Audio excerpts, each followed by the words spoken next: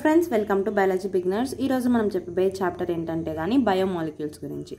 Biomolecules అంటే కానీ bio అంటే లైఫ్ లైఫ్ అంటే లివింగ్ లివింగ్ ఆర్గానిజమ్స్లో ఉన్న మాలిక్యూల్స్ని మనం బయోమాలిక్యూల్స్ అంటాం. అంటే కార్బోహైడ్రేట్స్ ప్రోటీన్స్ లిపిడ్స్ ఇవన్నిటిని మనం బయోమాలిక్యూల్స్ అంటాం. ఇవి ఎలా డివైడ్ చేస్తారో చూస్తాం. ఇవి బేస్డ్ ఆన్ దాని యొక్క um, నేచర్ని బట్టి ఇవి టూ టైప్స్గా డివైడ్ చేస్తారు. అంటే ఫస్ట్ మనం ఏదైనా ఒక టిష్యూ తీసుకొని దాన్ని మనం ట్రై క్లోరో అసిటిక్ యాసిడ్తో మిక్స్ చేసి మనం రెండింటిని మనము ఒక స్లర్రీ లాగా ప్రిపేర్ చేస్తే అందులో ఫామ్ అయినది filtrate filtrate and next retentate అని రెండు ఫామ్ అవుతాయి.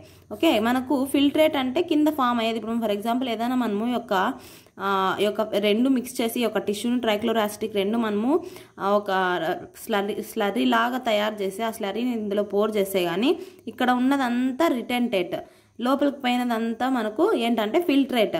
Filtrate retentate. ఈ రిటెంటేట్ వచ్చేసి బయో మ్యాక్రో మాలిక్యూల్స్ ఎందుకంటే కానీ లార్జ్ సైజ్లో ఉంటాయి కాబట్టి అవి లోపలికి వెళ్ళవు. ఆ నెక్స్ట్ ఫిల్టరేట్ వచ్చేసి bio micro molecules bio micro molecules అనమాట ఓకే ఎందుకంటే కానీ దీని యొక్క వెయిట్ తక్కువ ఉంటుంది కాబట్టి వెళ్ళిపోతాయి అనమాట నెక్స్ట్ యాసిడ్లో సాల్బుల్ అవుతాయి కాబట్టి ఇవి యాసిడ్ సాల్యుబుల్ ఇది వచ్చేసి యాసిడ్ ఇన్సాల్యుబుల్ అనమాట నెక్స్ట్ వచ్చేసి దీని యొక్క మాలిక్యులర్ వెయిట్ ఎంత ఉంటుందంటే బై మైక్రో మాలిక్యూల్స్ మైక్రో మాలిక్యూల్స్లో ఏవేవంటే కానీ monomers of carbohydrates proteins lipids ఉంటాయి అనమాట కార్బోహైడ్రేట్స్ యొక్క కార్బోహైడ్రేట్స్ యొక్క మోనోమర్స్ ఏంటి? మోనోసాక్రైడ్స్ ప్రోటీన్స్ వచ్చేసి అమైనో యాసిడ్స్ న్యూక్లిక్ యాసిడ్స్ వచ్చేసి న్యూక్లియోటైడ్స్ అలా అనమాట ఇందులో పాలిమర్స్ ఉంటాయి ఇందులో మోనోమర్స్ ఉంటాయి. ఓకే? అలా గుర్తుపెట్టుకోవాలి. నెక్స్ట్ వచ్చేసి దీని యొక్క మాలిక్యులర్ వెయిట్ మైక్రోమాలిక్యూల్స్కి ఎయిటీన్ టు ఎయిట్ హండ్రెడ్. దీనికి వచ్చేసి టెన్ థౌసండ్ డాల్టన్ కన్నా ఎక్కువ ఉంటుందన్నమాట. ఓకే? అండ్ నెక్స్ట్ వచ్చేసి లిపిడ్ అనేది మనకు మ్యాక్రోమాలిక్యూల్లోకి రాదు. దీని యొక్క వెయిట్ అనేది ఎయిట్ హండ్రెడ్ డాల్టన్ అలా ఉంటుంది. కానీ ఇది మ్యాక్రోలోకి ఎందుకు వచ్చిందంటే కానీ ఇది ఇన్సాల్వల్ ఇక్కడ యొక్క ఫిల్టర్లోకి ఫిల్టరేట్లోకి రాలేదు కాబట్టి ఇక్కడే ఉంది కాబట్టి ఇది మ్యాక్రో మాలిక్యూల్స్ లెక్క వేశారు ఎందుకంటే కానీ లిపిడ్లో మనకు నాన్ సాల్బుల్ పార్ట్ అనేది ఉంటుంది కాబట్టి అది సాల్బుల్ కావదు కాబట్టి ఇక్కడే ఉండిపోతుంది అనమాట ఓకే? అండ్ నెక్స్ట్ వచ్చేసి మనము ఇప్పుడు ఒక్కొక్క దాని గురించే చూద్దాం. కార్బోహైడ్రేట్స్ గురించి ప్రోటీన్స్ విటమిన్ ఈ యొక్క లిపిడ్స్ ఈ దాని గురించి అన్నీ ఒక్కొక్కటి చూద్దాం. మనకు కార్బోహైడ్రేట్స్లో మనకు మోనోసాకరైడ్ డైసాకరైడ్ ఒలిగోసాకరైడ్ అని త్రీ టైప్స్ ఉంటాయి. మోనోసాకరైడ్ అంటే కానీ అవి ఇంకా డివైడ్ కావన్నమాట. డైసాకరైడ్ అంటే అవి టూ టూగా డివైడ్ అవుతాయి. ఓకే? సారీ ఓలిగోసాకరైడ్లోనే మనకు డైసాకరైడ్ ట్రైసాకరైడ్ ఇవన్నీ వస్తాయి. అండ్ నెక్స్ట్ వచ్చేసి పాలీసాకరైడ్ వచ్చేసి మెనీ మోనోమర్స్ ఇస్తే కానీ దాన్ని మనం పాలీసాకరైడ్ అంటాం. ఓకే మోనోసాకరైడ్కి ఎగ్జాంపుల్ గ్లూకోజ్ ఫ్రక్టోజ్ అవన్నీ. ఒలిగోసాకరైడ్లో అగైన్ డివైడ్ డైసాకరైడ్ ట్రైసాకరైడ్ అని డ్రైసాకరైడ్కి వచ్చేసి సుక్రోజ్ మాల్టోజ్ లాక్టోస్ ఇవి ఏం చేస్తాయి? సుక్రోజ్ వచ్చేసి గ్లూకోజ్ అండ్ ఫ్రక్టోజ్ని మాల్టోస్ వచ్చేసి గ్లూకోజ్ అండ్ గ్లూకోజ్ని అండ్ నెక్స్ట్ ఇంకొకటి వచ్చేసి లాక్టోజ్ వచ్చేసి గ్లూకోజ్ అండ్ గెలక్టోజ్ని. అలా టూ మోనోమర్స్ ఇస్తుంది కాబట్టి మనము డైసాకరైడ్ అంటాం. ట్రైసాకరైడ్ అంటే కానీ త్రీ ఇస్తే దాన్ని మనం ట్రైసాకరైడ్ అంటాం. పాలీసాకరైడ్ అంటే మోర్ దాన్ టూ ఇస్తే దాన్ని మనం పాలీసాకరైడ్ అంటాం. ఇప్పుడు ఎగ్జాంపుల్స్ అనేవి చూద్దాము. దాని యొక్క మోనోమర్స్ కూడా చూద్దాం. స్టార్చ్లు ఏవే ఉంటాయని ఏవే ఉంటాయంటే కానీ అన్నీ మనకు గ్లూకోజ్ యూనిట్సే ఉంటాయి. అండ్ నెక్స్ట్ ఇందులో మనకు టూ టైప్స్ అనమాట స్టార్చ్లో. అమైలోజ్ అండ్ నెక్స్ట్ వచ్చేసి అమైలో పెక్టిన్ అని టూ స్ట్రక్చర్స్ అనేవి ఉంటాయన్నమాట. దీన్ని మనం అమైలోజ్ అంటాం. అంటే ఇలా బ్రాంచ్డ్ లేకుండా అన్బ్రాంచ్డ్ స్ట్రక్చర్ ఉంటే దీన్ని మనం అమైలోజ్ అంటాము. అండ్ నెక్స్ట్ బ్రాంచెడ్ స్ట్రక్చర్ ఉంటే దాన్ని మనం అమైలో పెక్టిన్ అంటాం. ఓకే?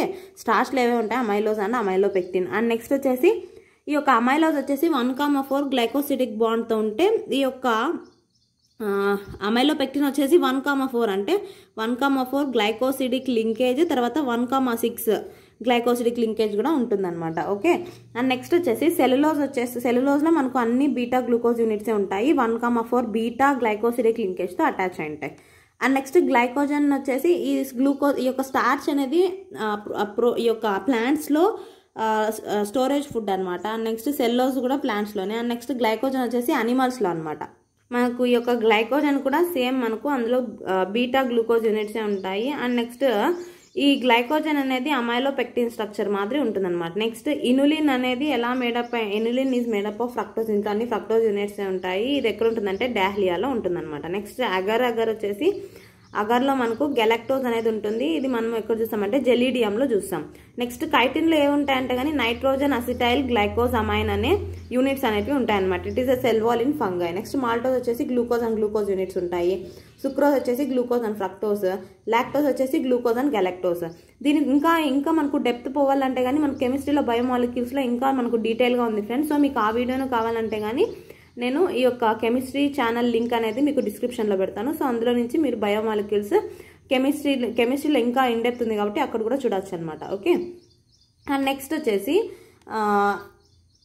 పాలీసాకరైడ్స్లో మనకు ఏంటంటే కానీ మనకు రైట్ ఎండ్ రెడ్యూసింగ్ ఎండ్ అంటాము left end non reducing end non reducing అంటారు. రెడ్యూసింగ్ ఎండ్ అంటే కానీ మనకు రెడ్యూసింగ్ ఏజెంట్ రెడ్యూసింగ్ చూపిస్తా అంటే కానీ అవి పెహ్లిన్ అండ్ నెక్స్ట్ టోలెన్స్ రియేజన్ని చూపిస్తే దాన్ని మనం పెహ్లిన్ రెడ్యూసింగ్ రెడ్యూసింగ్ షుగర్ అని అంటాము. అంటే రెడ్యూసింగ్ అంటే కానీ మనకి ఏదన్నా దాంట్లో ఓహెచ్ గ్రూప్స్ మనకు ఈ యొక్క దీంట్లో రెడ్యూసింగ్ షుగర్స్లో ఏమవుతుందంటే కానీ మనకు ఫ్రీ సిహెచ్ఓ గ్రూప్స్ ఉంటాయి కాబట్టి మనకు పెహ్లెన్ ఈ యొక్క రెడ్డింగ్ రెడ్యూసింగ్ షుగర్స్గా పనిచేస్తాయి అనమాట అదే మనకు కొన్ని నాన్ రెడ్యూసింగ్ షుగర్స్గా పనిచేస్తాయి. లైక్ ఎగ్జాంపుల్ సుక్రోజ్ అనమాట అందులో మనకు ఫ్రీగా మనకు సిహెచ్ఓ గ్రూప్స్ ఉండవు కాబట్టి అది నాన్ రెడ్యూసింగ్ షుగర్గా పనిచేస్తుంది. Next starch can hold I two molecule ఎందుకంటే దాన్ని స్టార్చ్ అనేది కాంప్లెక్స్ స్ట్రక్చర్ ఉంటుంది కాబట్టి ఈ స్టార్చ్ అనేది హై టు మాలిక్యూల్ని హోల్డ్ చేసుకోగలదు. కానీ సెల్యులోజ్ అనేది దీంట్లో కాంప్లెక్స్ హెలిక్స్ అనేది ఏది ఉండదు కాబట్టి సో అయోడిన్ని ఇది హోల్డ్ చేసుకోలేదన్నమాట ఓకే?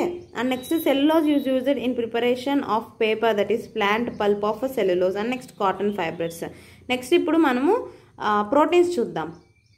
మనం ప్రోటీన్స్ చూసినట్లయితే కానీ proteins is made up of amino acids దీంట్లో మోనోమర్స్ ఏవే ఉంటాయంటే అమైనో యాసిడ్స్ ఉంటాయి. అమైనో యాసిడ్ ఇంకొక అమైనో యాసిడ్కి పెప్టైడ్ లింకేజ్ అనేది ఉంటుందన్నమాట ఓకే? అండ్ నెక్స్ట్ ఒక అమైనో యాసిడ్ స్ట్రక్చర్ చూసినట్లయితే ఎలా ఉంటుందంటే కానీ left side NH three CH COH అనేది ఉంటుందన్నమాట. అండ్ నెక్స్ట్ వచ్చేసి దీన్ని మనం కార్బాక్సిలిక్ గ్రూప్ అంటాం దీన్ని వచ్చేసి అమైనో గ్రూప్ అంటాం. ఓకే ఇక్కడ మనకి ఏమవుతుందంటే కానీ ఇక్కడ ఆర్ ప్లేస్లో మనకు ఏమన్నా ఎలిమెంట్స్ ఆర్ ప్లేస్ నుంచే మనకు అమైనో యాసిడ్స్ అనేవి చేంజ్ అవుతాయి. ఒకవేళ ఆర్ ప్లేస్లో హెచ్ ఉంటే అది గ్లైసిన్ అవుతుంది ఆర్ ప్లేస్లో సిహెచ్ త్రీ ఉంటే అది అలనైన్ అవుతుంది. అండ్ నెక్స్ట్ ఆర్ ప్లేస్లో సిహెచ్ టూ ఓహెచ్ ఉంటే అది సెరీన్ అవుతుంది. ఇలా మనకు దీన్ని బెట్ దీన్ని బట్టే మనకు అమైనో యాసిడ్స్ అనేవి డివైడ్ చేస్తామన్నమాట. మనకు ట్వంటీ అమైనో యాసిడ్స్ ఉన్నాయి. అండ్ నెక్స్ట్ వచ్చేసి ల్యూసిన్ అనేది బేసిక్ అమైనో యాసిడ్ అనమాట న్యూట్రల్ వచ్చేసి వెల్లన్ అనేది గ్లైసిన్ అంట. న్యూట్రల్ అమైనో యాసిడ్స్ ఇంకా మనకు ఇన్డెప్త్ దీంట్లో ఇంకా చాలా ఉన్నాయి. సో ఇన్ డెప్త్ మీకు కావాలంటే కానీ ఒకసారి నేను ఆ యొక్క బయోమాలిక్యూల్స్ యొక్క ఆ బయోమాలిక్యూల్స్ కెమిస్ట్రీ ఛానల్లో చెప్పాను కదా. సో ఆ లింక్ అనేది కూడా మీకు డిస్క్రిప్షన్లో పెడతాను. ఇది చూసిన తర్వాత అది కూడా చూడండి ఫ్రెండ్స్ ఎందుకంటే కానీ కెమిస్ట్రీకి రెండింటికి యూజ్ అవుతుంది. అండ్ నెక్స్ట్ వచ్చేసి ఇంకా ఇండెప్త్ ఉంది అందులో. అండ్ నెక్స్ట్ వచ్చేసి అండ్ నెక్స్ట్ ఈ యొక్క ప్రోటీన్స్ అనేవి ఎక్కడెక్కడ ఉంటాయంటే కానీ కొల్లాజన్లో ఉంటుంది ట్రిప్సిన్ ఎంజైమ్స్లో ఉంటుంది హార్మోన్స్లో ఉంటుంది యాంటీబయోటిక్స్లో ఉంటుంది రిసెప్టార్స్లో ఉంటుంది అండ్ నెక్స్ట్ గ్లూట్ ఫోర్లో అన్నిట్లోనూ ప్రోటీన్స్ అనేవి ఉంటాయి. Collagen is intercellular ground substance అనమాట it is the most abundant tissue in animals next trypsin అనేది ఎంజైమ్ ఇన్సులిన్ అనేది హార్మోన్ యాంటీబయాటిక్స్ అంటే ఇన్ఫెక్షియస్ ఏజెంట్స్కి ఫైట్ చేయడానికి యాంటీబయాటిక్స్ ఉంటాయి. ఎందుట్లోనూ మనకు ప్రోటీన్స్ అనేవి ఉంటాయి. నెక్స్ట్ రెసెప్టార్స్లో కూడా ప్రోటీన్స్ అనేవి ఉంటాయి. ఎందుకంటే కానీ మనకు స్మెల్ టేస్ట్ ఇవన్నీ డిటెక్ట్ చేయడానికి రెసెప్టార్స్ కావాలి. నెక్స్ట్ గ్లూట్ ఫ్లోర్లో అంటే గ్లూట్ ఫోర్ అంటే కానీ గ్లూకోజ్ ట్రాన్స్పోర్ట్ ఇంటూ సెల్ ఈ గ్లూట్ ఫోర్ అనేది మనకు సెల్లే ట్రాన్స్పోర్ట్ సెల్లేకి మనకు గ్లూకోజ్ ట్రాన్స్పోర్ట్ కావాలంటే ఈ గ్లూట్ ఫోర్ అనేది ఉండాలన్నమాట. Rubisco is the abundant protein in biosphere అనమాట ఓకే ఇది ఈ యొక్క ప్రోటీన్స్ గురించి. అండ్ నెక్స్ట్ వచ్చేసి ప్రైమరీ అండ్ సెకండరీ మెటబోలైట్స్ చూసినట్లయితే కానీ ప్రైమరీ అండ్ సెకండరీ మెటబోలైట్స్ అంటే ఏంటంటే కానీ మనకు ప్రైమరీ మెటబోలైట్స్ అంటే కానీ మెయిన్ సబ్స్టెన్స్ సబ్స్టెన్సెస్ అనేటివి ఫంక్షన్ చేస్తే అది మనము ప్రైమరీ ఫంక్షన్స్ చేస్తే కానీ అది అని ప్రైమరీ మెటబోలైట్స్ అంటాం. సెకండరీ ఫంక్షన్స్ అంటే మనకు ఈ యొక్క ప్రోటీన్స్ కార్బోహైడ్రేట్స్ ఫ్యాట్స్ ఇవన్నీ మనకు ఫిజికల్ యాక్టివిటీస్ని ఈ యొక్క ఫిజికల్ ప్రాసెస్కి మెయిన్గా యూజ్ అవుతాయి. దాన్ని మనం ప్రైమరీ మెటబోలైట్స్ అంటాం. సెకండరీ మెటబోలైట్స్ వచ్చేసి ఇది ఇందులో ఎక్స్ట్రా ఫంక్షన్ అనమాట అంటే మనకు రెజిన్స్ ఇవన్నీ మనకు ఎక్స్ట్రా ఫంక్షన్స్. అంటే ఎక్స్ట్రాగా ఫామ్ అయితే దాన్ని మనం ఎక్స్ట్రా సెకండరీ మెటబోలైట్స్ అంటారు అనమాట ఓకే? ఈ సెకండరీ మెటబోలైట్స్లో ఏవే వస్తాయంటే కానీ మనకు పిగ్మెంట్స్ నెక్స్ట్ ఆల్కలాయిడ్స్ నెక్స్ట్ వచ్చేసి terpene oils next essential oils next toxins lecithin drugs polymeric substance ఇవన్నీ వస్తాయి అనమాట పిగ్మెంట్స్లో వచ్చేసి కెరటినాయిడ్స్ ఆంథోసైనిన్స్ నెక్స్ట్ ఆల్కలర్లో వచ్చేసి మార్ఫిన్ అండ్ కొడిన్ నెక్స్ట్ వచ్చేసి టర్పెంట్ ఆయిల్స్ వచ్చేసి mono and di terpene oil terpene oils next వచ్చేసి ఎసెన్షియల్ ఆయిల్స్ వచ్చేసి లెమన్ గ్లాస్ ఆయిల్ టాక్సిన్స్ వచ్చేసి abrin and ricin and next lecithin వచ్చేసి లెసిటిన్లో మనము కాన్క కొన్కనా వ్యాలిన్ ఏ కన్కనా వ్యాలిన్ ఏ అనేది వస్తుంది అనమాట నెక్స్ట్ డ్రగ్స్ వచ్చేసి విన్ బ్లాస్టిన్ అన్న కుర్కుమిన్ నెక్స్ట్ పాలిమరిక్ స్ట్రక్చర్స్ వచ్చి రబ్బర్ గమ్స్ సెల్లోజ్ ఇవన్నీ మనకు సెకండరీ మెటబోలైట్స్ అనమాట ఓకే ప్రైమరీ మెటబోలైట్స్ మనకు ఫిజికల్ యాక్టివిటీస్కి యూజ్ అవుతుంది. నెక్స్ట్ వచ్చేసి మనకు ఇంకా ఒక ఎక్స్ట్రా పాయింట్ ఏంటంటే కానీ ఎప్పుడైతే టిష్యూ అనేది మనం డ్రై చేస్తామో అప్పుడు యాష్ అనేది ఫామ్ అవుతుంది అనమాట ఓకే? డ్రై చేసిన తర్వాత మనకి యాష్ అనేది ఫామ్ అవుతుంది. యాష్లో మనకి ఏవే ఉంటాయంటే inorganic inorganic elements inorganic compounds ఉంటాయి. ఇనార్గానిక్ ఎలిమెంట్స్ ఏవే ఉంటాయి కానీ calcium magnesium sodium and potassium. Next inorganic compounds వచ్చేసి SO four PO four NaCl and CSEO three and next వచ్చేసి ఒక సెల్లో మనకు పర్సెంటేజ్ చూద్దాం ఇప్పుడు. వాటర్ ఎంత ఉంటుంది ప్రోటీన్ ఎంత ఉంటుంది carbohydrate lipid next nucleic acids ions ఇవన్నీ ఎంత పర్సెంటేజ్లో ఉంటాయి చూద్దాం. మాక్సిమం మనకు ఎక్కువ ఉండేది వచ్చేసి సెల్లో seventy to ninety percent water ఉంటుంది. ప్రోటీన్ వచ్చేసి ten to fifteen percent carbohydrate three percent lipids two percent next nucleic acids వచ్చేసి five to seven percent next ions వచ్చేసి వన్ పర్సెంట్. ఈ పర్సెంటేజ్ అనమాట చాలా ఇంపార్టెంట్. అండ్ నెక్స్ట్ వచ్చేసి మనకు అర్త్లోను హ్యూమన్స్లోను మనకు ఎలిమెంట్స్ అనేటివి కామన్గా ఉంటాయి అనమాట అవి ఏవంటే కానీ carbon hydrogen oxygen nitrogen calcium magnesium sodium sulphur and silicon. కానీ మనకు పర్సెంటేజ్ డిఫరెన్స్ అనమాట అర్త్లో ఎంత ఉంటుంది? హ్యూమన్స్లో ఎంత ఉంటుందో చూడాలి. అర్త్లో వచ్చేసి జీరో పాయింట్ జీరో త్రీ ఇందులో వచ్చేసి కార్బన్ అనేది ఎంత ఉందంటే zero point zero three eighteen point five ఉంటుంది హ్యూమన్స్లో అయితే. అండ్ నెక్స్ట్ వచ్చేసి హైడ్రోజన్ వచ్చేసి zero point one zero point five oxygen వచ్చేసి forty six point six sixty five. Next nitrogen అనేది అర్త్లో లిటిల్గా చాలా తక్కువ ఉంటాయి కానీ హ్యూమన్స్లో త్రీ పాయింట్ త్రీ పర్సెంట్ ఉంటుంది. And next calcium zero point zero three percent same carbon రాగే అనమాట నెక్స్ట్ ఇందులో zero point three percent. Magnesium two point eight ఇది జీరో పాయింట్ టూ. నెక్స్ట్ క్యాల్ సోడియం వచ్చేసి three point six one point five.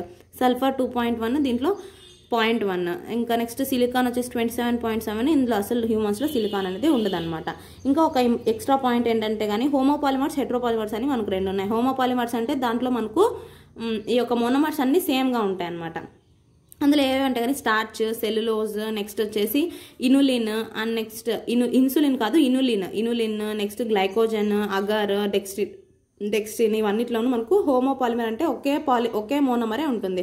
హెట్రోపాలిమర్ అంటే different monomers ఉంటాయి. Like hemicellulose chitin pectin heparin ఇవన్నిట్లోనూ monomers అనేవి ఉంటాయి అనమాట నెక్స్ట్ వచ్చేసి ఇందులో మనకు హెమీ సెల్లోజ్లు ఏవో ఉంటాయంటే కానీ మెనోజ్ జైలోజ్ నెక్స్ట్ అర్బినోజ్ గెలెక్టోజ్ ఇవన్నీ ఉంటాయి అనమాట అంటే చాలా ఉన్నాయి చూడండి. అన్ని మనకు ఫోర్ దంగా ఉన్నాయి కాబట్టి దీన్ని హెట్రోపాలిమర్ అంటారు.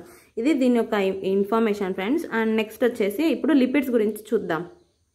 Lipids are water insoluble and దీంట్లో వచ్చేసి మనకు ఈ యొక్క మోనోమెరిక్ యూనిట్స్ వచ్చేసి ఫ్యాటీ యాసిడ్స్ అంటే గ్లిసరాల్ అనమాట ఈ యొక్క ఫ్యాటీ యాసిడ్స్ అండ్ గ్లిసరాల్ బట్టి మనకు ట్రైగ్లిసరాయిడ్ మోనోస్ మోనోగ్లిసరాయిడ్ అండ్ నెక్స్ట్ డ్రైగ్లిసరాయిడ్ ట్రైగ్లిసరాయిడ్ అలా డివైడ్ చేస్తామన్నమాట. అండ్ నెక్స్ట్ వచ్చేసి ఈ యొక్క ఫ్యాటీ యాసిడ్స్ అనేవి two types. Saturated fatty acid unsaturated fatty fatty acid saturated అంటే సింగిల్ బాండ్ అన్సాచురేటెడ్ అంటే డబుల్ అండ్ ట్రిపుల్ బాండ్ అంటే అన్సాచురేటెడ్ అంటాం. ఇందులో సాలిడ్ వస్తుంది ఇందులో లిక్విడ్ వస్తుంది. సాలిడ్ అంటే కానీ గీ అనమాట ఇందులో మనకు గీలో మనకు ఎసెన్షియల్ అమైనో యాసిడ్స్ త్రీ ఉంటాయి అనమాట that is lino linoleic acid linolenic acid arachidonic acid ఇవి మనకు ఎసెన్షియల్ అమైనో ఫ్యాటీ యాసిడ్స్ అనమాట అంటే మనకు మన బాడీలో సింథసైజ్ కావన్నమాట. ఎసెన్షియల్ అంటే కానీ ఎప్పుడే కానీ మనము అవుట్ సైడ్ నుంచి తీసుకోవాలి. త్రూ ఫుడ్ దాన్ని మనం ఎసెన్షియల్ అంటాం. నాన్ ఎసెన్షియల్ అంటే మన బాడీలోనే సింథసైజ్ అయితే దాన్ని మనం నాన్ ఎసెన్షియల్ అమైనో యాసిడ్స్ అంటారు. మనకు ప్రోటీన్స్లో కూడా అంత essential amino acids non essential amino acids అని టూ ఉంటాయి. అంటే మన ఫుడ్లో మనం తీ- ఫుడ్లో నుంచి తీసుకుంటే అది ఎసెన్షియల్ మన బాడీలోనే సింథసైజ్ అయితే నాన్ ఎసెన్షియల్ ఇందులో కూడా ఎసెన్షియల్ ఫ్యాటీ యాసిడ్స్ ఏమంటే linoleic acid linolenic acid arachidonic acid and next వచ్చేసి ఫ్యాట్స్కి ఆయిల్స్కి డిఫరెన్స్ చూసినట్లయితే fats has a lower melting point అంటే ఇప్పుడు గీ అనేది మనము మనకి అంత మెల్టింగ్ పాయింట్ ఏం అవసరం లేదు. కొంచెం మనం హీ హీట్ ఇస్తేనే అది మెల్ట్ అయిపోతుంది. అదే ఆయిల్స్ అనేది చాలా టైం పడుతుంది అనమాట ఓకే? ఇది దీని యొక్క ఇన్ఫర్మేషన్ నెక్స్ట్ వచ్చేసి లిపిడ్స్ యొక్క స్ట్రక్చర్ చూసినట్లయితే ఎలా ఉంటుందో చూద్దాం. ఇలా లిపిడ్ యొక్క స్ట్రక్చర్ అనమాట లిపిడ్ మనకు ఫ్యాట్స్ అనేది ఎక్కడెక్కడ డిపాజిట్ అయ్యింటాయంటే అంటే under skin next around organs ఇక్కడ మనకు డిపాజిట్ అయి ఉంటుంది. ఎందుకంటే షాక్ అబ్జర్వర్గా ఇలా మనకు దాని యొక్క ఫంక్షన్స్ అనమాట అండ్ నెక్స్ట్ వచ్చేసి ఫ్యాట్స్ అనేటివి అగైన్ టూ టైప్స్ ఉంటాయి. Conjugated lipids and next derived లిపిడ్స్గా divide అంటే అది మళ్ళీ చూద్దాము. ఇప్పుడు మనము ఈ యొక్క ఫ్యాట్స్ యొక్క ఫ్యాట్లో ఉన్న ఈ యొక్క మోనోమెరిక్ స్ట్రక్చర్ చూసినట్లయితే దీన్ని మనం గ్లిసరాల్ అంటాం. సిహెచ్ టూ ఓహెచ్ ఇలా ఈ యొక్క స్ట్రక్చర్ని మనం గ్లిసరాల్ అని అంటాము. ఈ గ్లిసరాల్ అనేది ఫ్యాటీ యాసిడ్కి అటాచ్ అవుతుంది అనమాట ఈ యొక్క సిఓఓహెచ్ సిఓఓహెచ్ని ఫ్యాటీ యాసిడ్ ఇలా మనకు దీనికి దీనికి లింకేజ్ ఎస్టర్ బాండ్ అనేది ఉంటుందన్నమాట. అండ్ నెక్స్ట్ ఇది దీని యొక్క ఫార్ములా అనమాట ఈ యొక్క ఫ్యాటీ ఫ్యాట్స్ ఈ యొక్క లిపిడ్స్ యొక్క ఫార్ములా ఈ యొక్క ఎన్ నెంబర్ బేస్ చేసుకొని మనము ఈ యొక్క పాల్మిటిక్ యాసిడ్ అండ్ నెక్స్ట్ వచ్చేసి అరికిడోనిక్ యాసిడ్ డివైడ్ అవుతాయి. ఓకే అండ్ నెక్స్ట్ వచ్చేసి ఇప్పుడు మనము ఈ యొక్క టైప్స్ చూద్దాం. టూ టైప్స్ ఉన్నాయి కదా? ఫస్ట్ అవి చూసేద్దాము. ఇందులో వచ్చేసి కాంజుగేటెడ్ లిపిడ్ అంటే లిపిడ్ అనేది వేరే దాంతోనూ కంబైన్ అవుతే దాన్ని మనం కాంజుగేటెడ్ లిపిడ్ అంటాం. ఇప్పుడు ఫాస్ఫరస్తో అయితే కానీ ఫాస్ఫోలిపిడ్ అంటాం. సల్ఫర్తో అయితే సల్ఫోలిపిడ్ అంటాం. ఫాస్ఫోలిపిడ్ ఎక్కడ ఉంటుందంటే ప్లాస్మా మెంబ్రెయిన్స్లో అండ్ నెక్స్ట్ లిసిటిన్లో ఉంటుందన్నమాట. సల్ఫో లిపిడ్స్ వచ్చేసి నవ్ టిష్యూలో ఉంటుంది. అండ్ నెక్స్ట్ డిరైవ్డ్ లిపిడ్స్ కూడా ఉన్నాయన్నమాట. లిపిడ్స్ నుంచి డెరివేషన్స్ అనమాట like vitamin D cholesterol testosterone progesterone and oestrogen. Okay? And next వచ్చేసి నెక్స్ట్ మనం అప్పుడే ఆర్ ప్లేస్లో మనం ఏం చెప్పాము? ఎన్ ప్లేస్లో మనకు ఎన్- ఎన్ని నంబర్స్ ఉంటాయి? దాని యొక్క నంబర్ బట్టి డివైడ్ చేసామన్నాం కదా. ఫోర్టీన్ కార్బన్స్ ఉంటే అది పాల్మెటిక్ యాసిడ్ ట్వంటీ కార్బన్స్ ఉంటాయి కానీ ఇంక్లూడింగ్ మనకు ఏంటంటే కానీ ఒక కార్బాక్సిలిక్ కార్బన్ కూడా ఇంక్లూడ్ చేసుకుంటే మనకి ఏమవుతుందంటే కానీ ఒక పాల్మెటిక్ యాసిడ్ పాల్మెటిక్ యాసిడ్లో సిక్స్టీన్ కార్బన్స్ ఉంటాయి. అరకిటోనిక్ యాసిడ్లో ట్వంటీ కార్బన్స్ ఉంటాయి. నెక్స్ట్ వచ్చేసి glycerol is the simplest lipid which has tri hydroxy propane okay and next ఇవి ఎక్కడెక్కడ ఉన్నాయో చూసాం కదా మనము ఈ యొక్క ఫాస్ఫోలిపిడ్స్ ఈ యొక్క లిసిటిన్లో అండ్ నెక్స్ట్ సల్ఫోలిపిడ్స్ న్యూరల్ టిష్యూలో ఇది ఒక లిపిడ్స్ గురించి అండ్ నెక్స్ట్ ఇప్పుడు న్యూక్లిక్ యాసిడ్స్ గురించి చూద్దాం. న్యూక్లిక్ యాసిడ్ అంటే కానీ మనకు డిఎన్ఏ ఆర్ఎన్ఏని న్యూక్లిక్ యాసిడ్ అంటాము. మనకు ఆర్ఎన్ఏలోకి డిఎన్ఏకి ఏంటి డిఫరెన్స్ అంటే కానీ సెకండ్ పొజిషన్లో ఓహెచ్ ఆర్ఎన్ఏలో ఉంటుంది అదే డిఎన్ఏలో మనకు ఉండదు. ఆ నెక్స్ట్ ఈ ఆర్ఎన్ఏ అయినా డిఎన్ఏ ఎలా మేడప్ అవుతుందంటే phosphate phosphate nitrogen base pentose sugar. Okay దీంతో మనకు మేడప్ అయి ఉంటుంది. అండ్ నెక్స్ట్ వచ్చేసి ఇది ఎలా ఉంటుందో చూద్దాం. ఈ యొక్క ఫాస్ఫేట్ ఈ యొక్క ఫాస్ఫేట్ అనేది ఈ యొక్క షుగర్కి మనకు ఫిఫ్త్ పొజిషన్లో అటాచ్ అయి ఉంటుంది. ఇక్కడ మనకు బాండ్ వచ్చేసి phospho ester bond. And next ఈ యొక్క షుగర్ అనేది నైట్రోజన్తో కంబైన్ అవుతుంది by the help of glycosidic bond. అంటే బాండ్స్ అనమాట ఫాస్ఫేట్కి ఈ యొక్క షుగర్కి ఫాస్ఫో ఎస్టర్ బాండ్. నైట్రోజన్కి షుగర్కి గ్లైకోసిడిక్ బాండ్. ఓకే? మనకు డిఎన్ఏలో ఏటీసీజీ అనే న్యూక్లియోటైడ్స్ యొక్క నైట్రోజన్ బేసెస్ ఉంటాయి. ఆర్ఎన్ఏలో ఏయుసీజీ ఉంటుందన్నమాట. ఇది ఫ్రెండ్స్ దీని గురించి. అండ్ ఇదే ఇంత ఫ్రెండ్స్ ఇంకా విటమిన్స్ అనేటివి ఉన్నాయి. ఇంకా విటమిన్స్ అనేటివి మీరు ఒకసారి చూసుకోండి. అండ్ నెక్స్ట్ దీని ఫుల్ ఇన్ఫర్మేషన్ అంతా నేను కెమిస్ట్రీ ఛానల్లో అప్లోడ్ చేశాను. సో మీరు అది ఒకసారి చూ మీరు చూస్తే ఇంకా ఫుల్గా అర్థమవుతుంది. ఓకే ఫ్రెండ్స్ ఇది చాప్టర్ గురించి మీకు అర్థమైంది అనుకుంటున్నాను. అర్థమైతే కానీ లైక్ చేయండి. ఏమైనా డౌట్స్ ఉంటే కమెంట్ సెక్షన్లో అడగండి. అండ్ నెక్స్ట్ మీకు యూజ్ అనిపిస్తే షేర్ చేయండి మనలాంటి ఎంతో మంది ఫ్రెండ్స్కి అండ్ నెక్స్ట్ సబ్స్క్రైబ్ చేయడం మర్చిపోద్దండి. ఎందుకంటే అప్పుడే మనకు నోటిఫికేషన్ అనేది వస్తుందన్నమాట. నేను చేసే వీడియో ప్రతి వెంటనే రావాలంటే. And okay friends don't forget like share and subscribe thanks for watching